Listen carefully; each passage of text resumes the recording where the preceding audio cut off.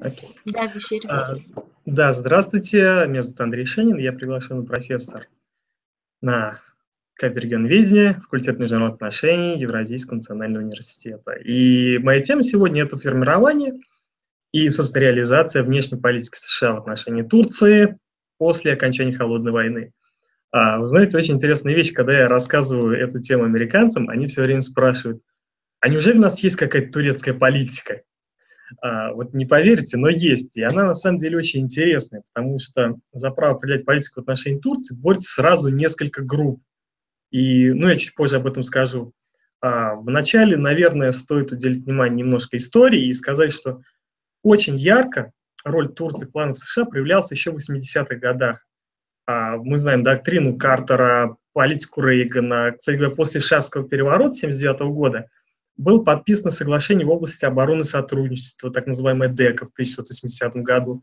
И Турция по этому соглашению получала достаточно э, серьезные военные поставки по программе Foreign Military Sales, э, получала, скажем так, серьезную поддержку, потому что тогда, во время Холодной войны, Турция выступала таким аванпостом э, против расширения советской угрозы, как это было принято называть. И это было очень интересно. Конечно, внутри, а, кстати говоря, важная роль Турции была одной из причин, почему Запад, собственно говоря, не сильно-то критиковал Турцию за события 1974 года на Кипре. А, Турция была, имела и, наверное, до сих пор имеет вторую по силе армию в НАТО и является, являлась очень сильным и серьезным соперником США. А, интересно отметить, что, говоря, Кипр, он всплыл, скажем так, в очень негативном ключе во время предвыборной гонки между Бушем-старшим и Дукасисом. Был такой кандидат, которого поддерживали греческие лоббисты, греческое, э, ну да, греческое лобби и неожиданно армянское лобби, потому что, как известно, армянское лобби, оно а, постоянно выступает с позиций, с негативных позиций по отношению к Турции из-за геноцида армян, который произошел еще в Османской империи. 2015 году. А армянское и греческое лобби, они действительно представляют достаточно весом серьезную силу, имеют большой вес в американской внешней политике. А вот, допустим, турецкое лобби представлено там достаточно слабо.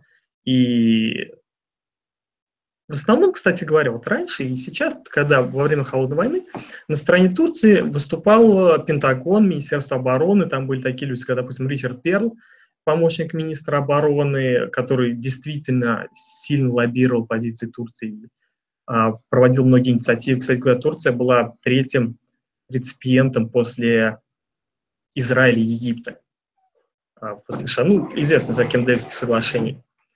А, как я уже сказал, турецкое лобби США, оно было неоднородно, там был порядка 180 тысяч человек, но но неожиданно Турция получала поддержку внутренней политики США от еврейского лобби, который был благодарен Турции за сдерживание арабской агрессии, от Министерства обороны, ну и, соответственно, от а, республиканцев. То есть это достаточно тонкий момент, а, потому что турецкая политика США очень сильно зависела от баланса сил в Конгрессе и в правительстве. А, у кого большинство, у кого меньшинство. И дальше я расскажу, это будет все достаточно так вот хорошо показано.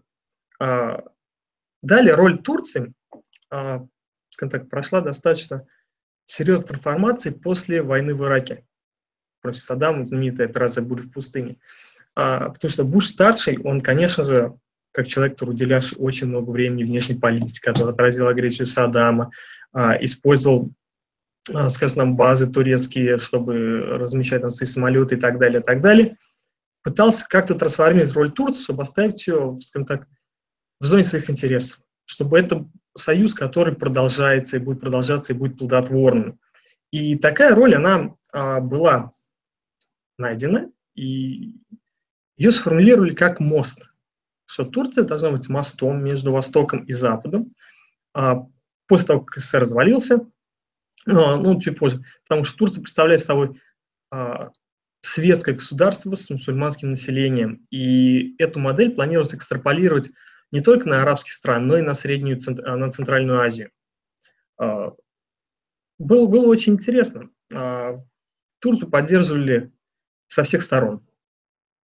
То есть, э, грубо говоря, после войны в Ираке там был даже создан фонд, фонд защиты Турции, который там вложили Саудовская Аравия, Арабские Эмираты, Кювейт, чтобы компенсировать потери от, э, ну, от Иракской войны. Вот. И многочисленные денежные вливания должны были способствовать укреплению роли Турции, в том числе на территории Средней Азии. А, было очень много угроз. Роль Турции, она была, скажем так, выглядела следующим образом.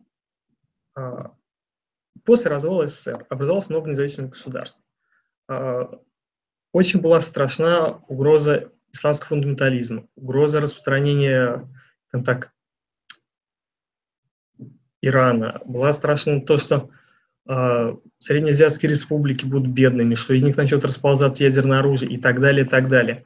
И предполагалось, что Турция, как тюркское государство, возьмет себя роль лидера а, в Центральной Азии. И ну, неожиданно оказалось, что, кстати, в дальнейшем казалось буквально пару лет, что а, угроза исламского фундаментализма не такая страшная, что среднеазиатские республики не хотят следовать за а, Турцией, и, в общем, просто не хватало денег чтобы втянуть эти страны в свою орбиту. И вообще, по сути, тюркская идентичность, она оказалась не таким уж крепким основанием для всего этого. Вот. Но, тем не менее, союз был крепкий, и очень интересный момент был то, что политика двойных, стандартов в, в чистом виде.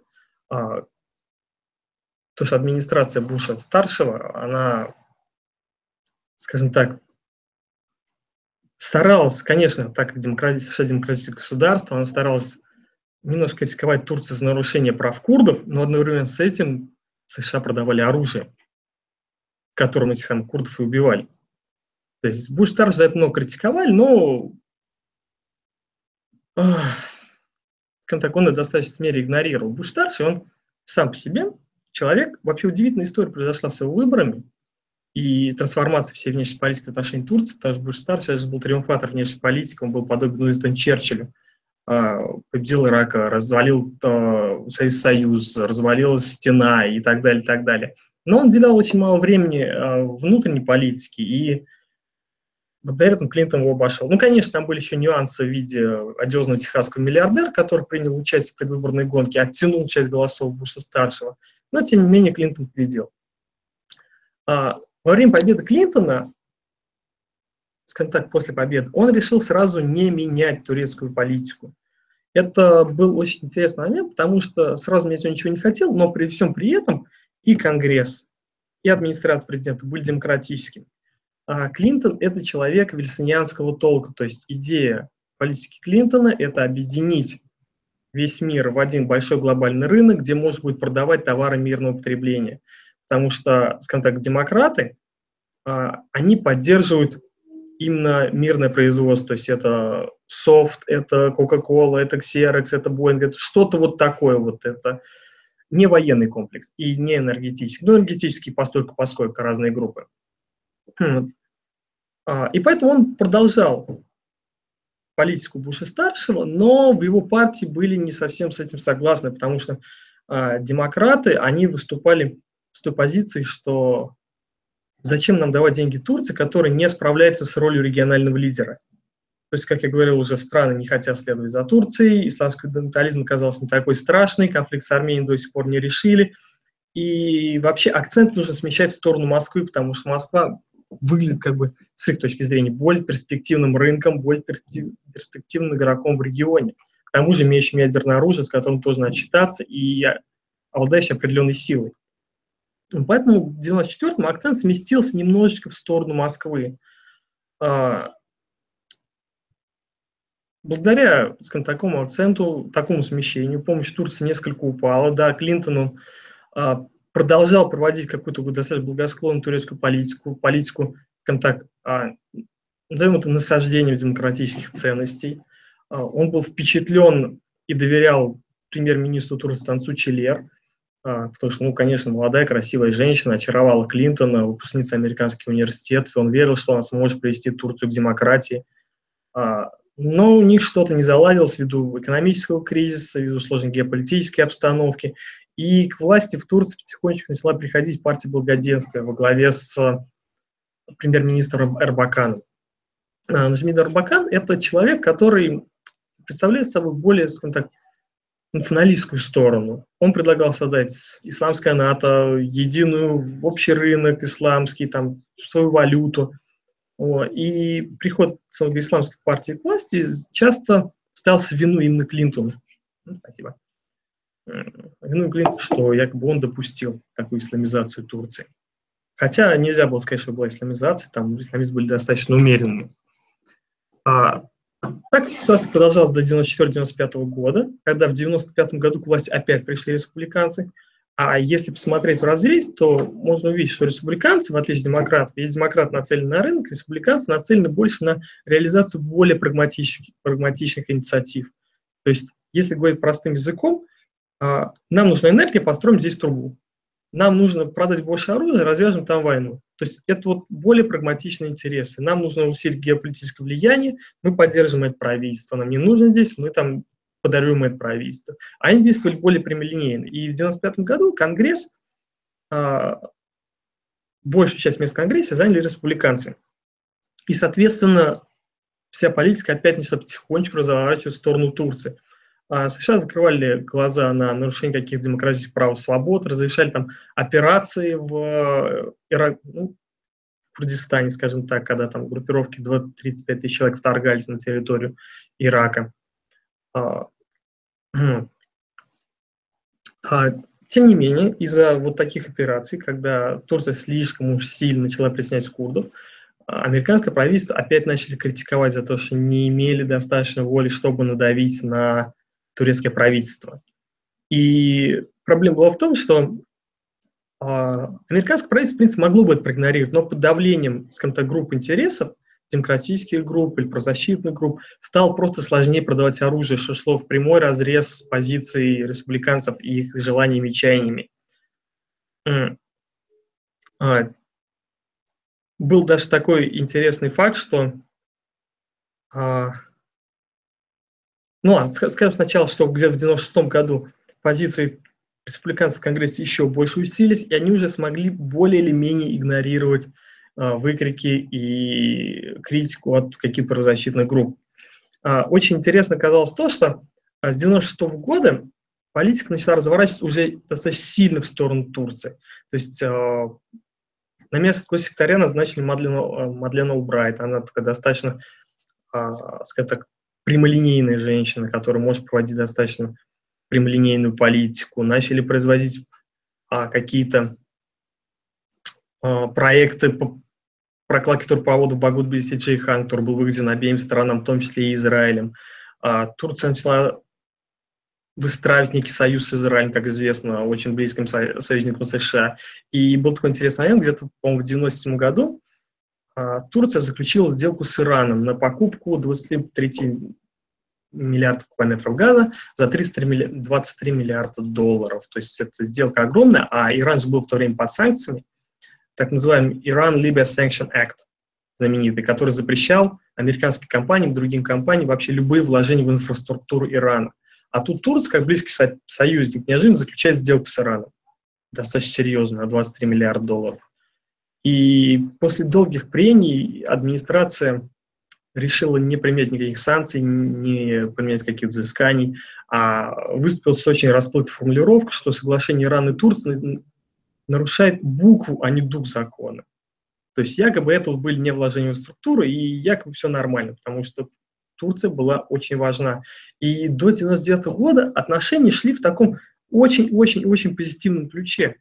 А, США продолжала, скажем так, давить на Европейский Союз, чтобы он принял Турцию ряды так или иначе. А, включил Турцию в 10 самых перспективных рынков, что ну, достаточно серьезное было звание. Ростоварооборота в Конгрессе препятствовали проходу а, резолюции по признанию геноцида армян. То есть резолюции, они, скажем так, а, если обратить внимание в прессе, резолюции проходят постоянно, что там не каждые 2-3 года, но они проходят через комитеты они не принимаются уже на уровне палат представителей или в Сенате. Там их обрубают, потому что, скажем так, национальные интересы, интересы э, США в регионе гораздо важнее, чем удовлетворение там, группы армян. Ну, понятно, там далеко идущие последствия от этого будут. Армянские э, официальные лица заявляли, что как только признают, то уже этот геноцид, то уже можно будет как там претендовать на какие-то провинции, идти в суд, требовать компенсацию и так далее, и так далее. Очень их много. И, в общем, отношения развивались в благополучном ключе, но они едва не оказались похоронены в 99 году, когда в Измире, крупном городе Турции, произошло землетрясение. Оказалось землетрясение, землетрясение, но правительство Турции оказалось просто не способно взять, скажем так, быстро организовать какую-то помощь пострадавшим. А, непонятно, что это было, но были большие проблемы с логистикой, и, как ни странно, первую помощь начали оказывать не местное правительство, а братья-мусульмане из Египта, и даже Греция чуть ли не первой прислала а, свои, скажем так, гуманитарные, гуманитарную помощь, несмотря на то, что у них была там старая вражда с Турцией из-за Кипра. А, тем не менее, правительство как-то как стояло, все это развивалось в дальнейшем ключе, пока, э, в Америке не произошли выборы произошел 2011 год, победила партия Буша-младшего в главе с неоконсерваторами. А, неоконсерваторы, такие как Пол Вулфвиц, а, ну, Дон Трамп, все равно больше консерватор, а, сам Джордж Буш, Дик Чейни, разработали новую концепцию, так называемую энергетическую концепцию, а, которая ставила Турцию, скажем так, на чуть ли не на ключевое место в регионе, через которое можно было реализовывать многочисленные инициативы. Они вообще называли это ключ. Турцию называли ключом ко, ко многим своим, скажем так, идеям и инициативам, хотя налогоплательщики рассматривали больше как черную дыру, в которую уходят все, все деньги. И, и, собственно говоря, без какой-либо отдачи. А, так продолжалось с 2001 года, пока не произошло печальное 9.11, вы знаете. И после этого роль Турции заметно выросла, потому что как важного логистического центра, как важного центра поддержки, и просто очень сильного союзника. Я напомню, что там была вторая по силе армия в НАТО.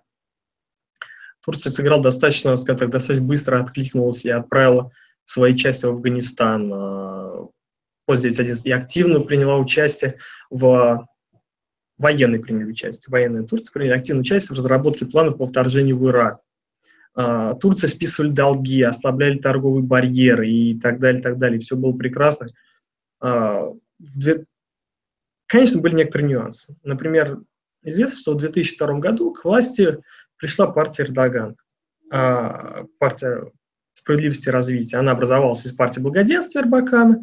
Я немножко не сказал, но в 1997 году произошел так называемый мягкий переворот – когда военные вынудили Эрбакана уйти в отставку. Потом партия развалилась, была там запрещена судом, и образовалось две маленькие партии. Консервативное крыло и либеральное крыло. Вот либеральное крыло, бывшая исламская партия и было крыло, в котором лидером выступал Эрдоган. А, он принял участие, то есть партия приняла участие в выборах, победила. Эрдоган не мог занять президентское кресло, потому что у него там была судимость, и пока судимость, пока не изменили немножечко законы, а, он не мог занять а, кресло премьера, но тем не менее он выступал лидером. И неоконсерваторы начали активную работу с партией Эрдогана, с ним лично, чтобы разрешить американским войскам пройти в Ирак через Турцию. И это была достаточно эффективная работа. Турции обещали за это очень много денег, обещали построить базы, порты, причальные стенки, инфраструктуру. И, по сути, это был очень и очень выгодный контракт, скажем так, выгодное предложение. А, единственное, причем работа была настолько, что, кстати говоря, 19 или 26 февраля, по-моему, 2003 а, года правительство Турции согласилось на то, чтобы американские войска, конечно, они уменьшили количество войск от первоначальной заявки, там было уже там не 60 тысяч, не 100 тысяч, а порядка там, 30 тысяч войск, а, учли, конечно, количество артиллерии, техники и так далее. А, но правительство согласилось на это. Однако, когда пошло голосование уже непосредственно в Меджлисе 1 марта 2003 года, а, парламентарии неожиданно отказали. Причем там перевес был где-то в три, в три голоса всего лишь. А, для американцев был шок, они думали, что все уже готово, и корабли американские уже были на пути к Турции, потому что они считали прохождение резолюции в Конгрессе техническим делом. Но оказалось, а, что все не так просто, как потом же сами парламентарии рассказывали. А, говорит, во-первых, очень не нравилось, как на них давили американцы, потому что они считали, что, видимо, турецких парламентариев можно просто так купить, залить деньгами и реализовать, собственно, все инициативы, что, как, как выяснилось, было даже серьезной ошибкой. Были какие-то еще другие причины, например, как писал один журналист, то, что а, партия «Справедливость и развитие» пришла к власти действительно в своем пике, и представители, парламентарии, они были действительно людьми из народа, которые думали о том, что скажут их избиратели, они боялись, скажем так, подвести их. И это был достаточно таким серьезным мотивом, в котором многие из них отказали американцам в проведении. Но, тем не менее, американцы тоже не дураки, они готовили два плана, то есть с турецким участием, без турецкого участия, потому что видели, что Турция все-таки колебалась. А, вот. Но, тем не менее, кстати говоря, отказ был воспринят достаточно болезненно, а, потому что потерялось на этом очень много денег. Ну, естественно, всю помощь они отменили а, Турции. Но, тем не менее, значимость Турции как стратегического партнера ни, никуда не исчезла. И тогда, ну и сейчас такая хорошо известная дама, как Хиллари Клинтон, она выступала, тогда еще конгрессмен, и призывала даже удвоить усилия по выстраиванию отношений с Турцией, вместо того, чтобы отказывать. А, вот. Потом все-таки правительство и разрешило а, использовать там, турецкую территорию, чтобы вести какой-то ограниченный контингент, но это было уже, скажем так, совсем другая история. А, в этот период и после, несмотря на то, что Тур занимал важную роль, все проблемы упирались в а, Курдистан, в курдов. Потому что курды все-таки были союзниками США, но а, у них были очень сложные отношения, созданы внутри Турции с правительством Эрдогана. Американцы, они хотели и нашим, и вашим. То есть они хотели и поддерживать курдов, они хотели получить и поддержку Турции. В Турции, с другой стороны, а, так, руководство неоконсерваторов воспринималось достаточно позитивно, вот с той точки зрения, что неоконсерваторы не требовали проведения демократических реформ и давали деньги. То есть это был, несомненно, позитивный момент. С другой стороны, они все-таки достаточно сильно давили, поэтому отношения застопорились. А, и более того, очень беспокоил вопрос, что будет после того, как американские войска идут из Ирака. Будут они делить страну, не будет, появится раз Курдистан, не появится, будут они поддерживать, не, по, не будут поддерживать. Все это было очень-очень сложно. И в такой обстановке взаимного недоверия отношения буквально застопорились, они никуда не двигались. Они так не двигались до 2005 года, 2006 года, потому что ни одна страна не решала вступить. Вот, кстати говоря, очень интересный момент я вычитал в одной из книг, что в 2005 году, шестом, там а, одной из наиболее продаваемых книг в Турции была книжка «Металлический шторм», а, которая описывает а, гипотетическую войну с Турцией, с, США, которая заканчивается победой Турции и разрушением Вашингтона. Такие, такие вот были очень интересные. А, обстановка всеобщего доверия, она продолжала накаляться во многом из-за того, что стороны, они не слышали друг друга. Когда а, Эрдоган приходил и говорил, что ему интересно обсуждать проблемы курдов и там кипрский вопрос, а, то Джордж Буш-младший приходил и говорил, что ему интересно обсуждать там сирийский вопрос и вопросы иранской ядерной программы. У них просто не совпадали позиции, они не могли ничего решить.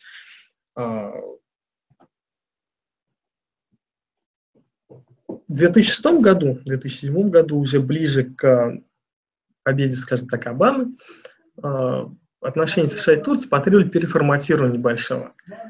А, переформатирование было в том плане, что произошел переход от, так, военной стратегии к некой энергетической стратегии. То есть опять начали, американцы начали чаще говорить о Набука, о Багут-Белисе Джейхан, других трубопроводах – о каких-то энергетических путях, маршрутах разработки, участии американских корпораций. А, и вроде как бы вот отношения перешли в экономическую плоскость и должны были заиграть новым красками. Но в сентябре 2007 года Конгресс принял закон о федерализации Ирака, что по сути, по сути своей а, легитимизировало создание Курдистана. Ну, не всем принято, но вот как-то вот такого, такого рода было. А, на этом на этом отношения Буша-младшего с Турцией достаточно быстро завершились. К власти приходит Обама. Кстати, интересный факт, то, что Обама в своих предвыборных речах обещал признать геноцид армян.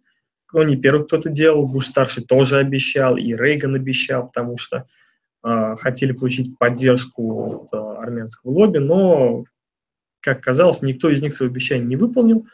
и не собирался выполнять на самом деле. Обама, он э, вообще пошел на хитрость, он стал называть геноцид не геноцидом, а мецъегерн, э, что называется, большая резня в переводе на армянский.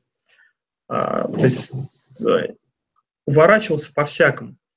А, тем, тем не менее, он, как он демократ, потому что, кстати, обратите внимание, что Обама, он как администрация Клинтона, он тоже демократ пальестинянского толка, а, а это значит, что основная идея у них это построить все-таки какой-то больше глобальный рынок. Это не силовые методы, это вот именно демократия, это кредиты, это экономика, это продажа товаров, а, там, зеленые технологии и так далее, и так далее. А, Поэтому произошла такая небольшая ревизия приоритетов. В Турции начали опять поступать кредиты. Туда совершил визит госсекретарь Хиллари Клинтон, а потом и сам Обама нанес визит. Но курдский вопрос, он все никак не решался. И не собирался решаться. Потому что курды были достаточно важными союзниками США. И более того, когда в, э, так, в, в Турции шло небольшое послабление для курдов, э, отношения начали выстраиваться, а, потом опять там стопорились, все это текло как водоворот событий. А, американцы даже разрешили у себя в Штатах открыть офис а, Курдской партии, которая была запрещена на территории Турции. То есть какие-то такие вот маленькие эпизоды, маленькие тычки, они шли все-таки в разрез общей политики. И более того, уже в 2010 году э, произошло событие, так называемой, так называемой флотилии свободы, который, нельзя сказать, что ставил там крест на отношениях, но серьезно осложнял, а всем известно, когда а, на турецкие, скажем так, на турецкие корабли, которые шли в сектор газа, высадился израильский десант и погибло 9 граждан Турции. Это был очень серьезный международный скандал. А, и отношения даже с Израилем, которым в Турции вроде бы выстроил неплохие отношения. Он, конечно же, не распался, но оказался под серьезным давлением. И устав от политики США, устав многочисленных обещаний решить курский вопрос, принять страну в ЕС, что там еще было,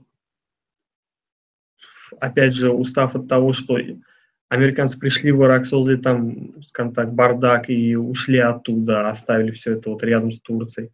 Э, и так далее, и так далее, турецкие власти, видимо, приняли решение обратиться к более восточным странам, к России, Центральной Азии, с непосредственным соседям. Вот. Это так называемый был уход на восток.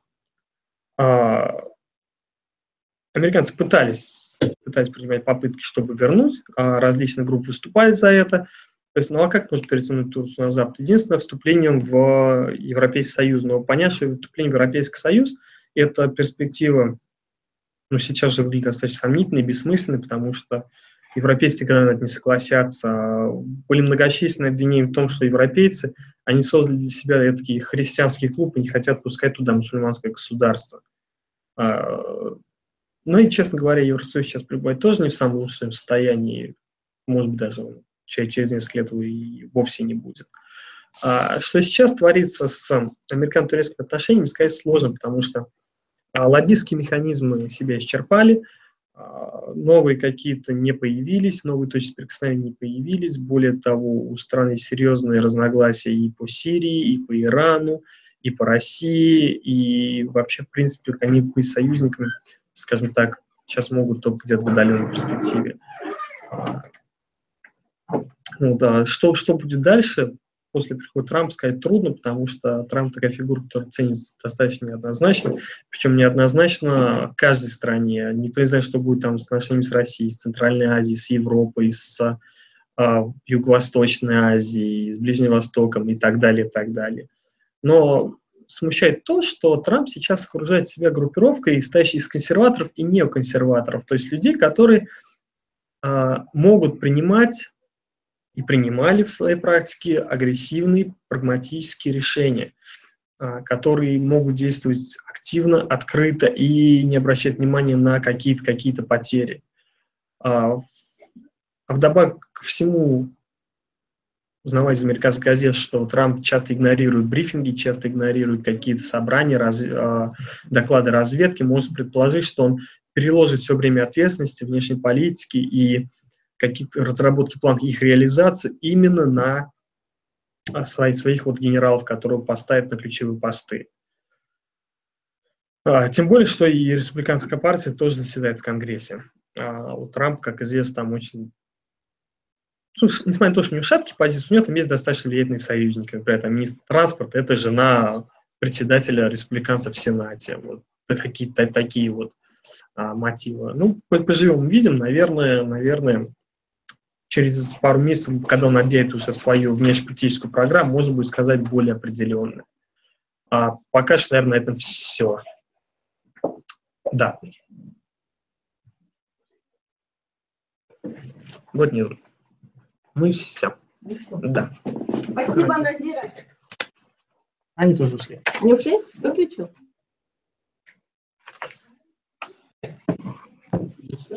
Да, праздник.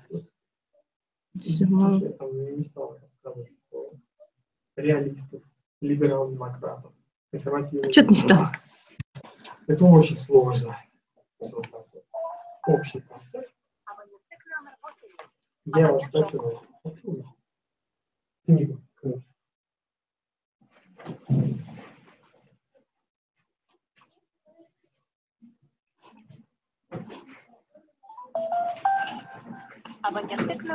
Девочки, заходите. Да, зайти.